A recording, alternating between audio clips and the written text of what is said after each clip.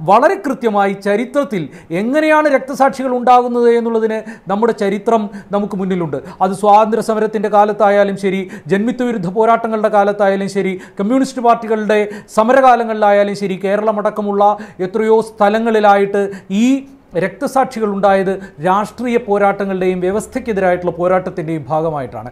കത്തോലിക്ക സഭയും പാംപ്ലാനിയുടെ പിതാമഹന്മാരടക്കമുള്ള പാതിരിമാരും നിൽക്കുന്നത് മുഴുവൻ ഈ വ്യവസ്ഥയ്ക്കെതിരായിട്ടുള്ള പോരാട്ടത്തിന്റെ എതിർവശത്ത് വ്യവസ്ഥയുടെ ദല്ലാളുകൾക്ക് വേണ്ടിയാണ്. അതുകൊണ്ടാണ് പാംപ്ലാനിക്ക് രക്തസാക്ഷികൾ എങ്ങനെയാണ് ഉണ്ടാകുന്നത് എന്നറിയാതെ പോകുന്നതും അവർ കാലുവഴിയത് വീണും ആവശ്യമില്ലാത്ത കലഹങ്ങളിൽ ഏർപ്പെട്ട് മരിച്ചു പോകുന്ന മനുഷ്യരായി മാത്രം അയാൾക്ക് അവരെ അടയാളപ്പെടുത്താൻ കഴിയുന്നതും.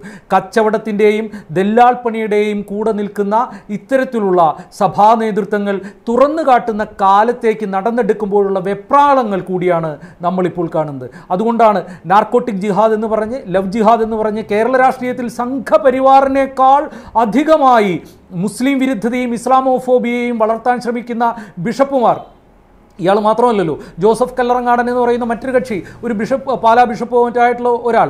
അയാളെപ്പോലെ തന്നെ താമരശ്ശേരി രൂപതയുടെ അധിപൻ എന്ന് പറയുന്ന മറ്റൊരു കക്ഷി. ഇവരൊക്കെ എത്ര ഹീനമായാണ് ഒരു ജനാധിപത്യ മതേതര സമൂഹത്തിൽ തലയ്ക്ക് വെളിവുള്ള ഒരാൾ പോലും പറയാത്ത തരത്തിലുള്ള ഹീനമായ വെറുപ്പിന്റെയും വിദ്വേഷത്തിന്റെയും ആരോപണങ്ങളാണ് കേരളത്തിന്റെ മതേതര സമൂഹത്തിൽ ഇവർ വിതയ്ക്കാൻ ശ്രമിച്ചത്. ആ അതിന്റെ തുടർച്ചയാണ് പാമ്പ്ലാനിയും അന്നൊക്കെ ഇവരെ എന്തെങ്കിലും പറഞ്ഞാൽ നാളെ കിട്ടാൻ പോകുന്ന നാല് വോട്ട് കുറയുമോ? അല്ലെങ്കിൽ ആരെങ്കിലുമൊക്കെ തങ്ങൾക്കെതിരായി നിൽക്കുമോ? ഇവരുടെയൊക്കെ സ്കൂളുകൾ ഇവരുടെയൊക്കെ സ്ഥാപനങ്ങൾ ഇതെല്ലാം തങ്ങൾക്കെതിരായി തിരിയുമോ?